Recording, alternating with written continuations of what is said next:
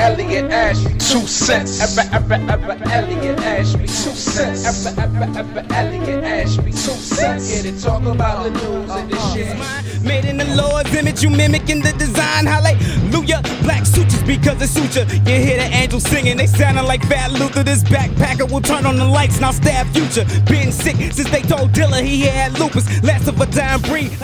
Yo, what's going on? This is Elliott Ashby, always keeping it classy, and that was Chicago MC Add-2. If you don't know about him, don't worry, you're gonna learn today. He recently signed with Ninth Wonder's Jamla Records, and he's on the new album Jamla is the Squad, which is dope. It not only has the, the Jamla team, but it's also got like Elzhi, Phonte, Talib, Pete Rock, Lecrae. I could go on and on, really. It's a dope album.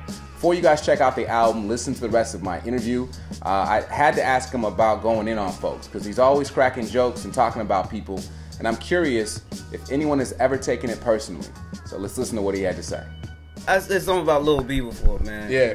And out the blue, he started following me, and it was like that awkward moment of that, like, is he following me because, you know what I'm saying, he just randomly follows people? Yeah. Or is he following me because he heard what I said? What did you say?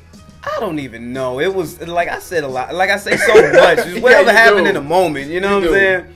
And so, um, but I do it out of, out of, out of, you know what I'm saying, just how I was raised, man. Like, you know, when we would rap in ciphers and stuff like that, like Mm-hmm. sometimes we go off the top and if you had something on, you had to rhyme about whatever that person had on. Like, we're not going to act like that's not there. Yeah. And so, and with rap being that type of thing where you got to stay topical, it's like, yo, if I did something, then it's, it's going to be put as a punchline. I'm sorry. If Like- you make yourself a punchline, I'm going to use it as a punchline. If somebody like the same thing's gonna happen to me. Eventually somebody's gonna be like, man, you know what I'm saying, you short, I'm gonna add two inches to you like that short nigga had two. They gonna say something about me. Even some of your inspirations are now listening to you, Yeah. giving you praise. Hmm. How does that feel? It's a great feeling. You know, like it's something that I don't take for granted because, you know, those people will always be heroes in my eyes. They'll always be at a level where I feel like I can't achieve. I'm and not- who are these people? Uh, definitely Common. You Yeah. know, Ninth Wonder. You know, Yeah. Nas. Um, uh, the homies from Hieroglyphics. You know what Yeah. I'm saying? Like they they definitely reached out to me as well, man. Like there's so many of them who it's just like when it happens, you be like, wow. Like I think Elzhi was just saying like, yo, man, I mess with Ed too too, and I was like, wow, that's that's crazy to me. You know what I'm Yeah. Saying? One of my friends was saying he was in Miami, Mm-hmm. and they was playing Between Heaven and Hell, and the person who was listening to it was like Lenny Kravitz. like, how does this even? How does happen? that even happen, How does right? it even happen? You know what I'm saying? Like, but stuff like that just makes me realize that you know you're on the right path. Yeah. And it's something that you know you you wished for, you hope for, and then once you get it, you like, yo, just appreciate it. What's poppin'? It's Kendrick Lamar, chillin' with my boy Add-2. You know I mean? Real hip hop, real music, real people doing it, you know? Macklemore, Ryan Lewis win the Grammy Yeah. over Kendrick Lamar. Yeah.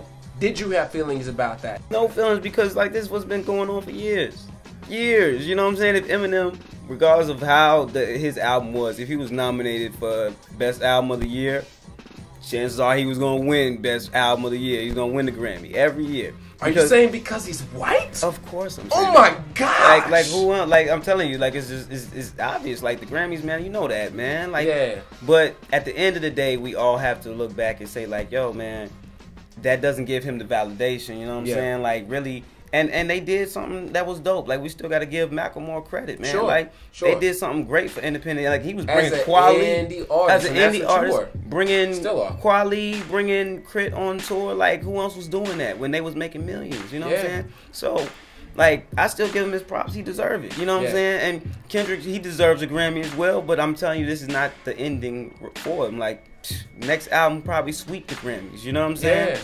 Like this is just fuel for the fire, and I think he needed that. He needed that moment of because he's been getting everything. Okay. Sometimes you need that moment, like you got something else to work for. Who is underrated to you? Who is overrated to you? Bone Thugs-n-Harmony. Mm. Like I, I don't think that they've got their just due. Mm. And to me, I think they're some of the best artists I've ever, you know what I'm saying, like grew up in, especially in the 90s. Mm. Like they don't get the credit they deserve. So, yeah, I say Bone Thugs-n-Harmony. I also say Do or Die. I love Do or Die. Great. overrated? Like low key, man. People would say, some people would say, you know what I'm saying, 2 Chainz is overrated, but I actually like 2 Chainz, man. What do you like about 2 Chainz? I like that he could make a verse and it would stick in your head. Like, like, Yeah. yeah, you know what I'm saying? Like, that's my favorite verse in that Drake joint. When we gonna hear the Add-2 2 Chainz joint?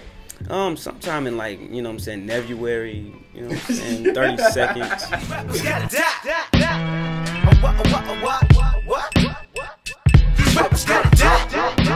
What you gonna do when we riding? What are some trends that you would like to see die in hip hop?